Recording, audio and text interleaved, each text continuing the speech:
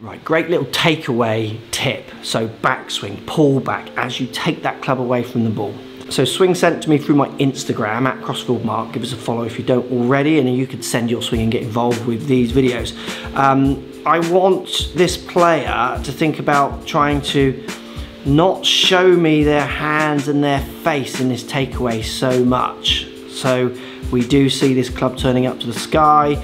We get to see the hands in that takeaway very early and then as they go back we've got a club face which is going to generally be open to the path. So we see the change of direction on the path.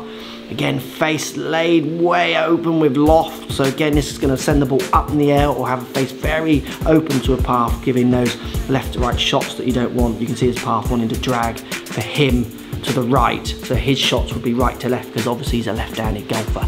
Takeaway tips to try and just change the pattern of this swing so I'm just gonna hit a shot as my standard swing here.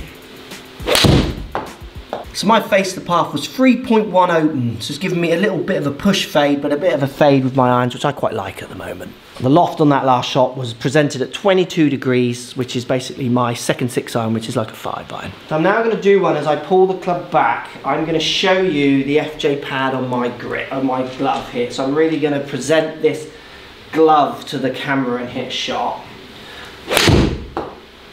Bit of a toe strike. The face was now open to the path by 12 degrees and I've not got, now got 27 degrees of loft. So I'm really presenting a lot more loft on that shot. As I pull back and start to rotate my wrist, turn that club around the axis of the shaft this way, I'm adding lots of loft and I'm struggling to control the face, which is always going to make me want to pull my path to me to my left, for you to the right as a left-handed golfer.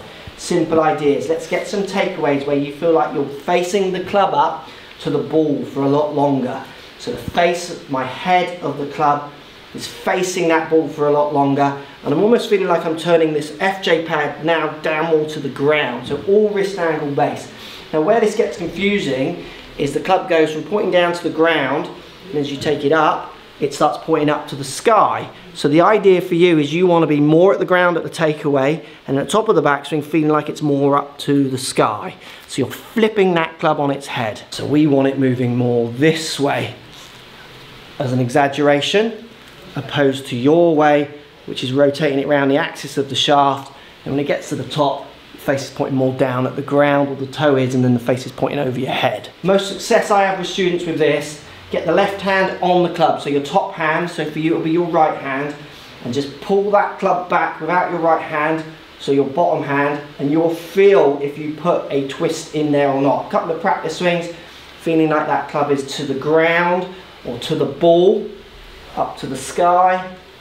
So facing the ball, up to the sky, and then jump in there, try and hit a shot. Same ideas. So the more I put that feeling in, so I'll show you the numbers on that one before I do the last one where I'll really take it to extremes. Face now only 2.7 open to a path where originally my standard shot was 3 and the loft has come down to 20.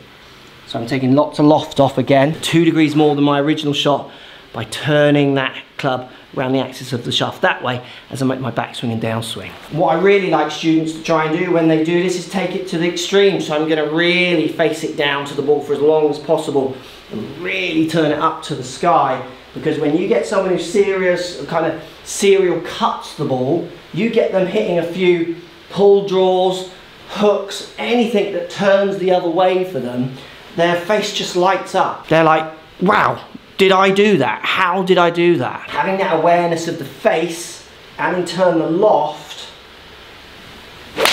So there's my really turned down one. Ball's to go low left.